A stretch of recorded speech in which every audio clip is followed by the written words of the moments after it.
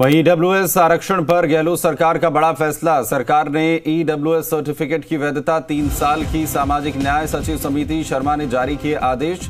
लाखों अभ्यर्थियों को बड़ी राहत मिलेगी। पहले एक साल के लिए ही ये सर्टिफिकेट मान्य होता था। इसकी वैधता बढ़ा दी गई है।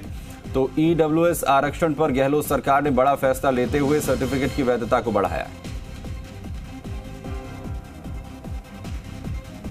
तो बड़ा फैसला लिया गया है। ईडब्ल्यूएस आरक्षण पर गहलोत सरकार की तरफ़ से। सरकार ने ईडब्ल्यूएस सर्टिफिकेट की वैधता को तीन साल के लिए बढ़ा दिया है। सामाजिक न्याय सचिव समित शर्मा ने इसे लेकर आदेश जारी किए हैं। लाखों अभ्यर्थियों को इससे राहत मिलेगी। आपको बता दें कि पहले मात्र एक साल के लिए ही सर्टिफिकेट की जो वैधता है, वो मान्य थी।